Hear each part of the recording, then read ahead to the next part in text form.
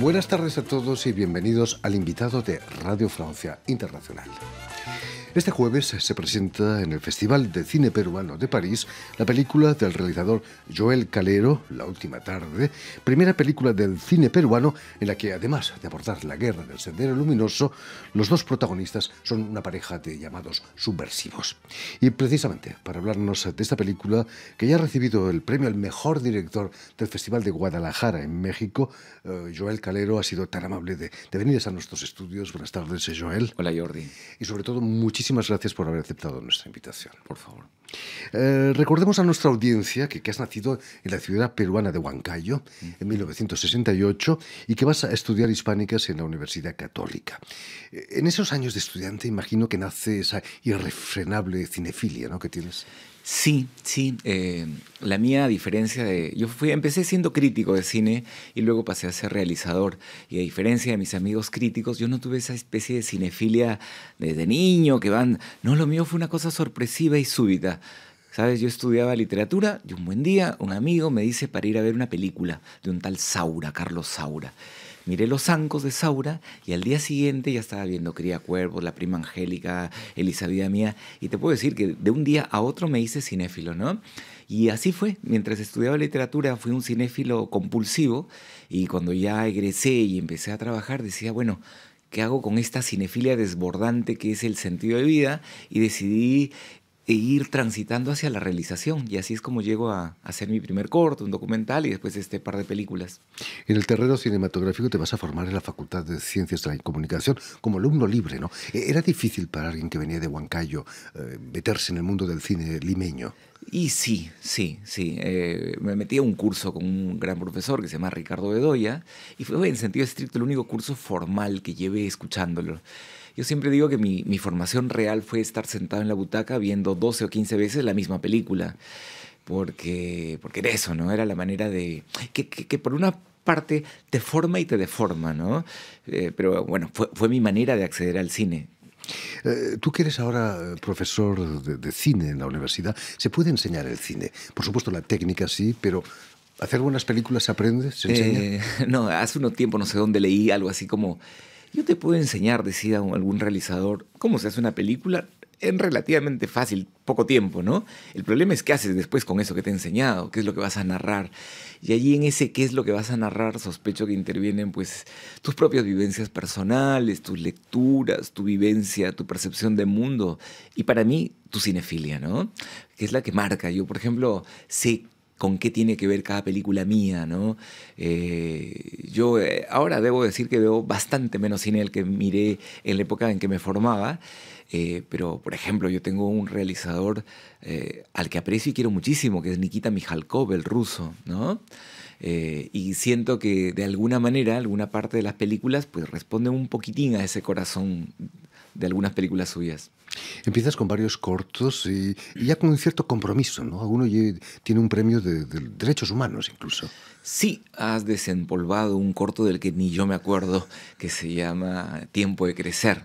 Sí, es una cosita pequeñita, minúscula, que hice con un amigo transitando por las calles con una cámara que me había comprado. Después hice un segundo corto que ya era más ficción, que se llamaba El Verano Próximo, de 15 minutos. De ahí pasé a hacer un documental sobre el pueblo de mi madre, yo soy de origen andino, eh, que se llamaba Palpi Guapido, El abrazo de la memoria. Y ya después de este mediometraje documental es que paso a mi primer largo que se llama Cielo Oscuro, este segundo que es La Última Tarde, y uno tercero que codirigido con el actor justamente de la película. Es una película eh, distinta que yo llamo comercial, porque lo es, que es una comedia, ¿no? Y ahora mismo estoy, el próximo año voy a filmar eh, una película que se llama La piel más temida, que es más en la línea de este cine más personal que, que también hago. Ya en el 2004 diriges Cielo Oscuro, tu primer largometraje. Eh, en ese documental, no es un documental, es una película de, comercial casi diría, eh, abordas ya el encuentro entre, entre dos universos sociales, ¿no? Sí, sí, aunque en lo esencial es una película sobre los celos. Una película en la que hay un comerciante de un sector marginal de allá que se llama Gamarra, que empieza una relación con una joven actriz y, pero la película está centrada en hurgar sobre los celos, esos celos que Berman llamaba retrospectivos, porque no es que tuviera el celos de los chicos con los cuales ella podría estar saliendo, tiene celos de las parejas con las que estuvo y todo ese, todo ese esa celotipia sale pues en los momentos más íntimos, en la cama, ¿no? Eh, fue una película para hurgar básicamente eh, eso, la psicología, los celos, en unos entornos sociales que, le dan algo de, de espesor, digamos, ¿no? que es esta marginalidad de los comerciantes y el mundo del teatro. No se puede ser autobiográfico, imagino, cuando se hace cine.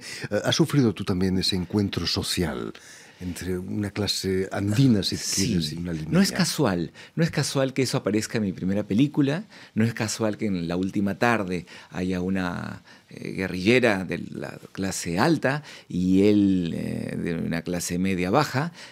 Digo, no es consciente, pero no es casual, por supuesto, porque el Perú es un país de unos profundos un profundo racismo, un profundo clasismo, y obviamente lo he percibido, he pensado sobre ello, no me lo propongo de manera deliberada, pero aparece, por supuesto. Eh, cuéntanos, entre esos dos protagonistas tan alejados socialmente, ¿qué los acerca y qué los aleja? En la última tarde. Por supuesto. Eh, los, eh, en el pasado, que es donde se encontraron, pues es una película que narra el reencuentro de un único día de una pareja de exguerrilleros que no se ven 19 años y que el día que se encuentran van a firmar su divorcio. En el pasado, ¿qué los unió? Los acercó, los ideales, ¿no? Ella era una joven de la alta burguesía limeña que llega a Cusco y encuentra un muchacho universitario que está haciendo aquello que sus compañeros eh, conversan en las cafeterías. Y entonces, eh, pues le atrae eso, le atrae la posibilidad del cambio social y todo eso. ¿Qué los diferencia o los aleja? No sé si los aleja, también creo que los atrae la diferencia social, ¿no? De alguna manera me imagino que para esa joven eh, Laura la posibilidad de estar con un muchacho de otro entorno es un acto transgresor. Es argentina además. No, no, no, menos. no, no, no, eh, no, no, pero ha estado en Argentina como parte de su biografía personal y tal, ¿no? Eso es lo que me parece que los, los en aquel tiempo los, los acerca y a la vez que los aleja, ¿no? Esta seducción de la diferencia, por una parte, ¿no? Eh, y en este presente, pues cada uno está, ha podido, después de 19 años de haber optado por la revolución, la guerrilla, el terrorismo, como que se quiera llamar, pues ahora cada uno está instalado en lo que casi sus destinos socioeconómicos naturales los, les tenían previsto, ¿no? Él ser un funcionario de bajo perfil y ella pues trabajando en una agencia de, de publicidad muy bien posicionada económicamente, ¿no? Eh, la última tarde ha causado una cierta polémica en Perú. Es cierto que, es la primera película, como decíamos, en la que dos guerrilleros se encuentran como protagonistas. Sí, absolutamente. Es la primera vez que eh, un subversivo eh, es protagónico en una película. Pero eso es interesantísimo porque creo que define la singularidad de mi país. Yo suelo decir que en Perú jamás ocurriría lo que pasó en Uruguay, que es que un guerrillero acaba siendo presidente. En el Perú todos aquellos que participaron de la subversión se les llama terroristas, terrucos dicho en peruano, y esa es una manera de estigmatizar y de reducir al personaje a una especie de ser diabólico. Claro, si alguien es esencialmente un terrorista, pues tú lo pones frente a las gallinas y las degolla, y con los niños lo mismo. Y nos perdemos de esa sutileza de las razones sociales, políticas que los llevaron en cierto momento, ¿no? Eh, por ejemplo, como una anécdota, es interesantísimo que cuando yo le propongo al actor, que es un gran amigo mío, ahora incluso eh, codirector mío de otra película, que haga la película, me dice, mientras esos hijos de puta no le pidan perdón al país de lo, por lo que le hicieron en tu película, yo no actúo. Le dije, puedes irte al cuerno, porque tú no vas a cambiar a mí la película. Y él mismo afronta todo un proceso durante un par de años, haciendo lecturas y tal, y sobre todo leyendo un libro fundamental que fue importantísimo en Perú, que se llama Los Rendidos, escrito por el hijo de dos exsenderistas muertos, el mismo activista de derechos humanos, recién reconoce, recuerdo en una entrevista, dice, me di cuenta que esos em, terrucos a quienes yo llamaba así, podían ser mi compañero de la cuadra, de casa, mi vecino, mi primo. Ese acto, ese salto cualitativo que da él, no lo ha dado el país. Pero además está usado políticamente por el Fujimorismo, que es este movimiento delincuencial que devino en movimiento político, pero que es esencialmente un movimiento delincuencial, eh, para utilizarlo y agitar el gallinero. Cada vez que van a haber elecciones se abre el cuco del terrorismo. ¿Por qué? Porque supuestamente su padre lo, nos liberó de eso, ¿no? Entonces, ciertamente que estos seres malignos aparecieran en una película siendo protagónicos, pues en el, en el mundo intelectual peruano sí agitó agitó las aguas.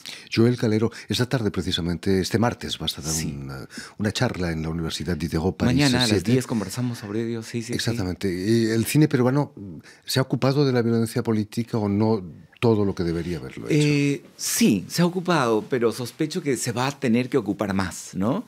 Eh, a veces se suele decir en, el Perú, uy, otra película más sobre terrorismo. Y cuando eso ocurre, yo le digo, no sé si has visto El hijo de Saúl, que 70, 80 años después del holocausto, pues sigue reflexionando. El problema no es que se toque el tema, el problema es que no se toquen con películas solventes, ¿no? Eh, y me parece que recién ahora es probable que empiecen las mejores películas sobre ese periodo, porque recién ahora tenemos una cierta distancia en el tiempo y en la piel y en los ojos como para poder fabular sobre eso. Y más allá de referir aquel tiempo, pues reflexionar y ver cómo los ecos y las resonancias de aquello están todavía presentes en nosotros como sociedad e incluso las razones que lo gestaron están todavía permanentes en la sociedad, ¿no? No es fácil restañar heridas de un conflicto que, causó más de 70.000 muertos. Así es, 70.000 muertos, una cifra altísima. ¿El cine puede ayudar quizás a restañar esas heridas? Eh, obligarnos a pensar, a mirarlo. Por ejemplo, con la última tarde me pasó cosas impresionantes, como por ejemplo que un día me escribiera un diplomático diciendo, yo era un niño que cuando tenía, no sé, 7, 8 años, temía que mi padre no llegara y crecí pensando en estos subversivos como seres demoníacos. Viendo tu película pude recomponer ese lado humano. Cuando se habla de reconciliación, la reconciliación es un proceso que solamente se puede dar entre sujetos. Eh, pero el problema es que en el Perú esos eh, militantes no tienen la categoría de sujetos. No, eh, cuando sale uno de la cárcel hay un, escándalo grande, pero lógico, va a salir, por Dios. Si ya cumplió su pena, ¿qué se espera que ocurra? ¿no?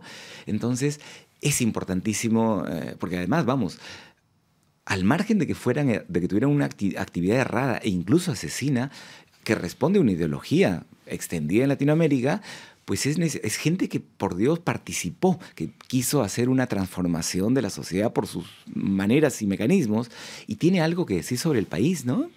Tus dos protagonistas podrían ser perfectamente zapatistas o quizás eh, guerrilleros de las FARC. Absolutamente. O incluso miembros de ETA en España. Sí. Eh, quizás el premio que te dieron en, Guadalajara, el mejor director del Festival de Guadalajara, te ayudó un poquito internacionalmente también a comprender eso. Sí, y, sobre todo ese premio fue importante porque fue a portas del estreno en Lima. Entonces, estos premios... Eh, sirven básicamente para, como suelo decir yo, ponerle galones y pedigrí a la película y generar un poco más de resonancia mediática, ¿no? Y para eso sirvió, sirvió muchísimo ese premio. Eh, hablando de la técnica de la película, eh, podrías haberla rodado en un plano secuencia de una hora casi, ¿no? Salvo si no encontrases obras en, una calle de Lima. Sí, sí, sí. Eh, ¿Era tu, tu, fin, quizás? Es que tenía, creo que naturalmente es una película que, tenía, que me exigía una puesta en escena que en su primera parte privilegiara estas estas caminatas larguísimas por las calles de Barranco, que por supuesto me tenía que evocar la caminata larguísima de Julie Delphi y Ethan Hawking antes del atardecer por estas calles parisinas donde estamos. Este, pero en una segunda parte, cuando ya están sentados, instalados en un juzgado, creo que ya el plano secuencia no se justificaba y había que optar por un tratamiento más convencional. ¿Cómo fue el trabajo con estos dos grandes actores? Hacer un trabajo extraordinario. Caterina Donofrio y, Lucho Cáceres, como, como, nos decía, se ha convertido en amigo y codirector tuyo. Sí, sí, sí. Pues mira, eh, yo siento que la etapa más importante de hacer la película fue la reescritura del guion porque más o menos un par de meses antes de que empezara el rodaje, nos reuníamos todos los días, cuatro horas, para reescribir el, el guion. Cuando digo reescribir, no cambiamos nunca una escena, no cambió nunca una intención dramática, pero cada palabra se modificó, porque lo que yo quería era eh, que ellos, para que la película fluyera, necesitaba que fueran sus palabras, su respiración, su sintaxis, ¿sí? Y entonces eso implicaba literalmente tallar línea por línea por línea por línea, ¿no? Pero además, por supuesto, eso nos llevaba a grandes discusiones a veces, eh, donde se confrontaban... Ideológicas. Sí, sí, ideológicas, ¿no? Que dieron alguna modulación, pero yo siento que cuando terminamos de reescribir ese guion, ya ellos eran los personajes, absolutamente.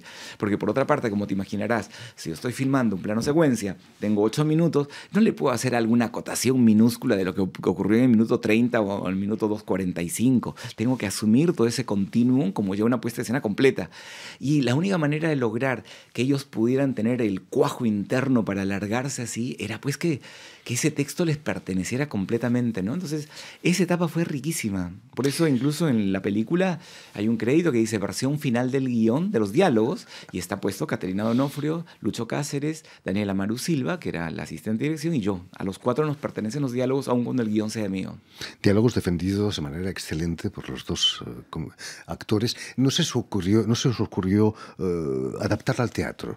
Y pues eh, después de la película, por lo menos un par de veces me han hablado de la posibilidad de hacer una adaptación al teatro y está ahí como un proyecto latente. La verdad que es que tengo tantos proyectos ahora que a veces digo, eh, entre invertirlos en escribir una obra de teatro de, esa misma película que hice y hacer otra película, aun cuando ciertamente hacer teatro es mucho más factible que es una película que, que en sí mismo es una especie de delirio que nos acosa, porque una película en Perú sale cada seis años, digamos, ¿no? dándole duro. Eh, y básicamente es el tiempo que uno tarda en buscar recursos. Pero bueno, ahí está. Además, la cinefilia pesa. Sí, sí, sí, mucho. Eh, Joel, no he podido evitar una sonrisa cuando, cuando se menciona el Mundial de Fútbol de, Sudáfrica, donde ganó España, y que además eh, eh, salió un jugador de la selección española, Piqué, con la bandera catalana. Imagino que cuando rodabais la situación no se había todavía degenerado como, como está ahora, ¿no? No, no, no. Ciertamente no. Pero ya cuando Piqué y Puyol salen con su bandera, están haciendo, vamos, eh, un acto simbólico que evidencia lo que tiempo después iba a, eclosionar más fuerte, ¿no? Y, bueno, a mí me servía eso, eh, primero porque tengo un gran feeling con, con España. Eh, este guion fue reescrito en la Beca Carolina, en Madrid, así que eso y el hecho de de construir anécdotas que evidenciaran subterráneamente al personaje, ¿no? Claro, acá lo que ocurre en esa escena que se está recordando es que están hablando de fútbol y ella cree que están hablando de fútbol, el otro está hablando de política. Así que... ¿Tú crees que van a ser, van a acabar como subversivos, Piqué y Pujol? no lo creo. Al menos no son violentos. En el, terreno de juego quizás. En fin, pues ya lo saben, eh, tienen una cita eh, este, este jueves para ver en el Festival de Cine Peruano aquí en París la película de Joel Calero, La Última Tarde. Muchísimas gracias, Joel, por haber estado aquí con nosotros. Permíteme también dar las gracias a Elena Abril, quien ha estado detrás de los cristales a cargo de la realización de este programa, y enviar un cordial saludo a nuestros telespectadores que nos siguen en toda América Latina gracias a la cadena uruguaya de televisión Canal U de Montevideo. Y a ustedes muchísimas gracias por su atención. Les damos cita para una nueva edición de El invitado de Radio Francia Internacional.